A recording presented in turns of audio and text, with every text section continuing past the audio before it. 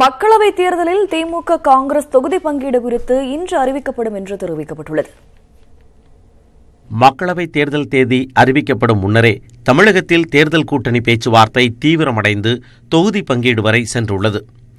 அதிமுக தலைமையிலான கூட்டணி நேற்று அறிவிக்கப்பட்ட நிலையில் திமுக கூட்டணியில் பேச்சுவார்த்தை நடைபெற்று வருகிறது. இதன்படி காங்கிரஸ் மதிமுக இந்திய கம்யூனிஸ்ட் மார்க்சிஸ்ட் கம்யூனிஸ்ட் விடுதலை சிறுத்தைகள் மனிதநேய மக்கள் கட்சி இந்திய யூனியன் முஸ்லீம் லீக் உள்ளிட்ட கட்சிகளுக்கான தொகுதி பங்கீடு பேச்சுவார்த்தை நடைபெற்று வருகிறது. காங்கிரஸ் போட்டியிடும் தொகுதிகள் குறித்து தமிழக காங்கிரஸ் நிர்வாகிகளுடன் காங்கிரஸ் தலைவர் ராகுல் காந்தி நேற்று ஆலோசனை நடத்தினார். மேலும் ராகுல் காந்தியை திமுக மாநிலங்களவை உறுப்பினர் கனிமொழி சந்தித்து பேசினார். இதனைத் தொடர்ந்து செய்தியாளர்களிடம் பேசிய தமிழக காங்கிரஸ் தலைவர் கே எஸ் அழகிரி திமுக காங்கிரஸ் தொகுதி பங்கீடு விவரம் இன்று மாலை அறிவிக்கப்பட இருப்பதாக கூறினார். தொகுதி பங்கீடு பற்றி இரு கட்சிகளின் தலைவர்களும் இணைந்து அதிகாரப்பூர்வமாக வெளியிடுவார்கள் என கூறினார்.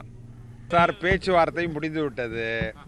தலைவர் ராகுல் காந்தி அவர்களும் கனிமொழி அவர்களும் பேசி முடிவு செய்து விட்டார்கள். முடிவு என்ன என்பதை முறைப்படி நாளைக்கு அறிவிப்போம். இதேபோல சென்னை விமான நிலையத்தில் செய்தியாளர்களிடம் பேசிய கனிமொழி திமுக கூட்டணியில் காங்கிரசுக்கு எத்தனை தொகுதிகள் என்பது குறித்து பேச்சுவார்த்தை நடத்த காங்கிரஸ் தேர்தல் பொறுப்பாளர்கள் இன்று சென்னை வர இருப்பதாக தெரிவித்தார்.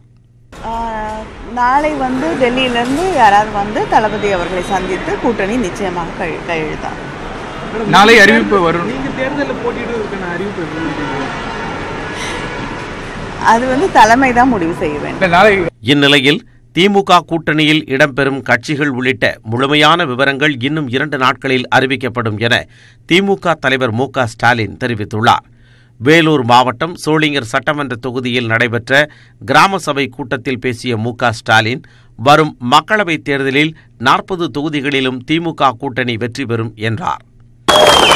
எழுதி வச்சுக்கணும் நாற்பதுக்கு நாற்பது திமுக அணி வெற்றி பெற போகிறது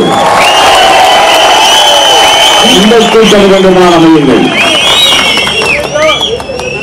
காங்கிரஸ் ஏற்கனவே நம்மோட கூட்டணிகள் இருக்கு.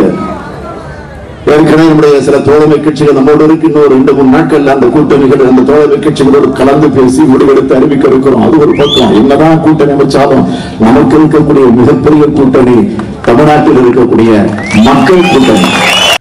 இதன் மூலம் திமுக கூட்டணியில் யார் யார் இடம் பெறுவார்கள் என்ற எதிர்பார்ப்பு மக்கள் மத்தியில் அதிகரித்துள்ளது.